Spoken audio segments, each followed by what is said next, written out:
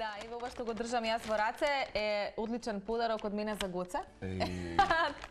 Кажи ти благодарам. Ќе ме изненадиш многу. Да. Впрочем, ова е новата книга на? Ксенија Николова, а ти што очекуваше? Од култура Супер. е, што може да биде? Па тоа е најубав подарок. Најубав подарок, добро четиво или добра книга.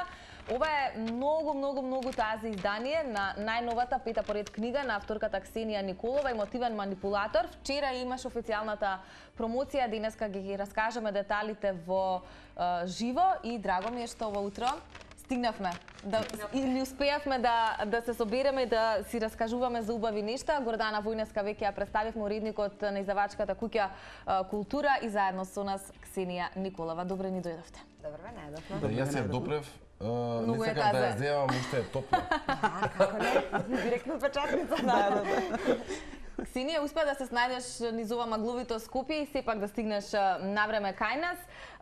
Вчера во вечерните часови се одржа промоцијата на на оваа книга. Гордана ми раскажа детали, односно накусо ми раскажа детали дека било навистина прекрасно, дека сте имале одличен говор и така натаму, најде јас чекам импресии од тебе со оглед на тоа што знам колку беше возбудена за сето ова. Да, бев многу возбудена и уште сум. А, Навистина беше прекрасно вчера. А, Како што кажа Гордан, имавме многу многу бав настан со многу бав повод.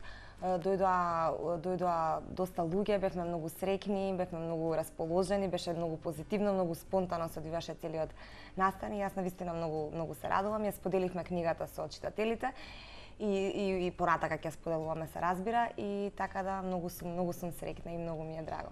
Да, па искрено и ние сме возбудени кога имаме вака нови нешта да промовираме. Така е. Затоа што особено книги, затоа што тоа е совршено за целокупната читателска публика, но и воопшто и за авторите, за писателите да да си го најдат своето место под е, под е, една читателска публика, нели? Така е, така е, апсолутно. Зошто зошто ваква тема? А, Темата е, а, како да кажам, се случи спонтано, се разбира тоа не го извира од самите нас. Зошто вак, оваква тема? Затоа што наверојатно така сум се чувствувала во моментот на творење. Темата е многу Мислам дека за таа тема треба и повеќе да се дискутира. Мислам дека е многу присутна во секој невието. Мислам дека објаснува повеќе психолошки ситуации во кои што, во кои што многу од нас се наоѓаат. Така што мислам дека е една убава тема, мислам убава тема, една убава тема за дискусија за која што треба да се разговара, треба да се размислува и нормално треба да се да се зборува. Гордана, вие како уредник во култура давате поддршка на македонските а, автори. А, каков е вашиот став или вашето мислење конкретно за ова дело на, на Ксенија? Ка, каде му ја гледате иднината? А, па како што каже самата Ксенија, ова е многу интересен современ роман. Темата може да се развива, значи јас би посакала да има и второ и трето издание, односно серијал како што прават сите светски нели автори. Интересно е што многу луѓе ќе се препознаат во, во книгата, а, бидејќи не само во љубовта, туку има и манипулатори општо нели во сите Буквално во секој сегмент од секој сегмент од животот да. и ние треба да го препознаеме и најбитното што е што мене ме фасцинира и тука добив и мали оние морници, треба да се научиме да се сакаме себе си.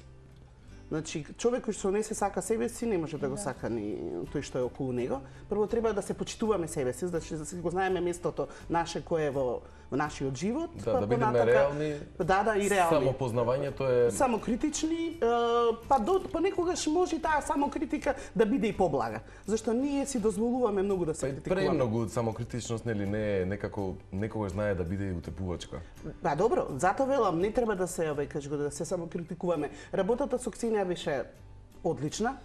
Е, значи секогаш убаво да се работи со млад автор кој што знае што сака. Значи она точно си дала смерници во својот роман и тука нема што да се овај да се зборува. Јас на овој роман му предвидувам многу бава иднина и на незините дела понатака, бидејќи се фасцинирав колку она, таа работи со својата публика. Значи, самото објавување и назна... појавување на информацијата дека ќе се појави Ксенија Николова Да, да, со да. незиниот нов роман предизвика. Барем мене ми се јавија 10 да. млади луѓе кои што ме познаваат и ми рекоа да те молам чувај ни го романот да не случајно Да не отиде првиот. да не отиде па и ние да не го прочитаме ово. Многу брзо, Да. да. Нема да откриваме што се зборува во книгата, нели нормално луѓето да си Добро, и начинавте дека теми кои што се Но многу, многу луѓе, не само младата вај публика, не само младите читатели. Дури оние постарите ќе се најдат себе си да откријат дека некој во животот ги манипулира. Да. А, Ксенија, млад автор, а од друга страна тема која што за која што може би треба и многу искуство, многу истражување, што вели Гордана, имам веројатно и многу повозрасна категорија на луѓе која што се уште не е свесна за емотивната манипулација околу нив. Беше ли дополнителен предизвик да работиш, да истражуваш ваква тема, да создаваш нешто што ете ќе биде едукативно четиво на некој начин? Да, јас во принцип пред сите пред, пред нешто да напишам истражувам секогаш, не- затоа што инспирацијата е едно, меѓутоа не Така? сакам Така да. во врска со ништо да зборувам напамет, бидејќи си има некои работи кои што се нели факти и истражувам се, дообразувам, се интересирам, значи слушам, разговарам, читам на интернет, читам читам различни ситуации, наблюдувам со други зборови, за да добијам што повеќе структура за тоа што, го чувствувам јас и да го и да го изразам.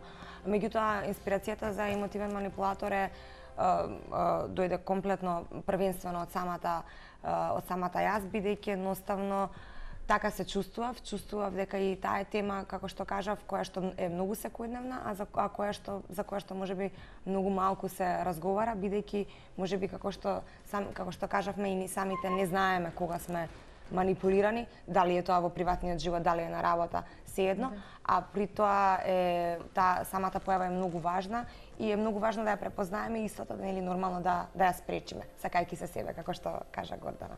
Да, треба, може би понекогаш и практичното искуство е најдобриот момент за познавање на луѓето кои што се околу нас, да сватиме дали во одредени ситуации не манипулираат или не, но книгата е еден одличен предуслов за тоа како да се поставите или пак да си направите одреден чекор напред пред да ги искусите во практика, да види, односно може би да се посомневате во одредени ситуации кога одредени личности се однесуваат така како што се однесуваат. Се разбира.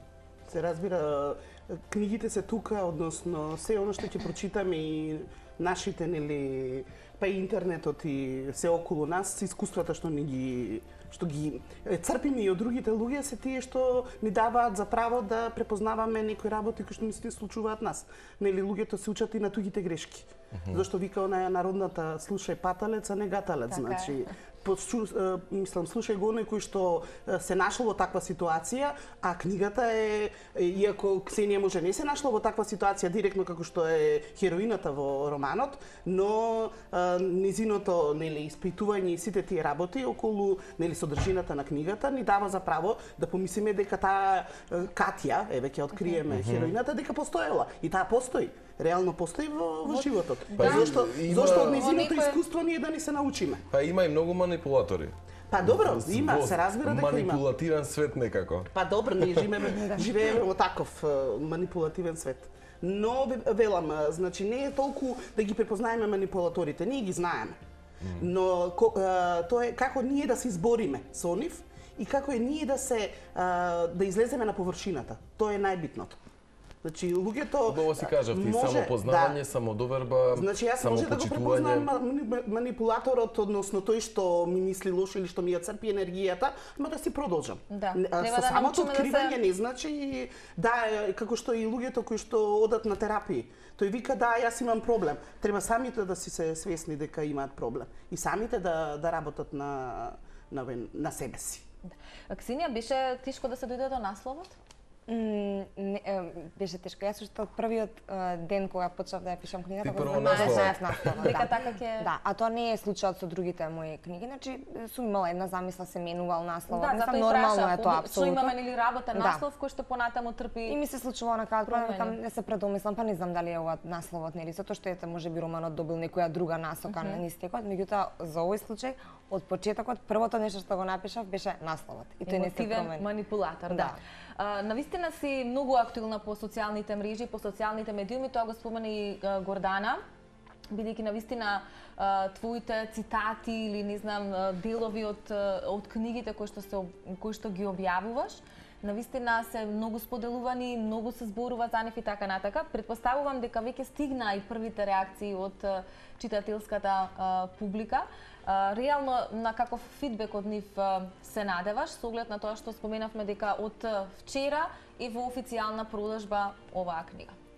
Па се надевам да се разбира на на на позитивен а, фидбек, а, меѓутоа за секаков фидбек јас сум тука и секогаш о, сакам да ми кажуваат како ја доживеале, како доко доживеале романот, бидејќи ми е важно, бидејќи може би ете онака како што сум сакала јас да допрам до до читателите, може би тоа не, не, не, секој ќе си го доживее како ќе се чувствува во моментот. Меѓутоа дефинитивно во едно сум сигурна е дека овој роман зборува, ја зборува вистината, ја зборува ја зборува на многу искрен начин, ја раскажува на многу искрен начин преку животот на како што кажа Годена хероината Катја. Така што ете очекувам да да им се допадне, очекувам да се пронајат, очекувам да ако ништо друго и да се информираат можеби за една е, дека и вакви ситуации се случуваат или па едно или можеби им се случуваат и на и на, и на нив, а Да, не и знаеле. секој според собственото искуство доволно е барем во одредена Да, апсолутно. состојба, ситуација да, да се пронајде, па и одредени негативни критики се секогаш добре дојдени за да се е, затоа што секоја критика е Апсолутно. Супер Апсолутно. и треба да се водиме според Најдобри се негативните критики. Ви даваат повеќе Да, да само бидејќи поиќе работите на да ги на поправите. подобрување. Да, Да, да.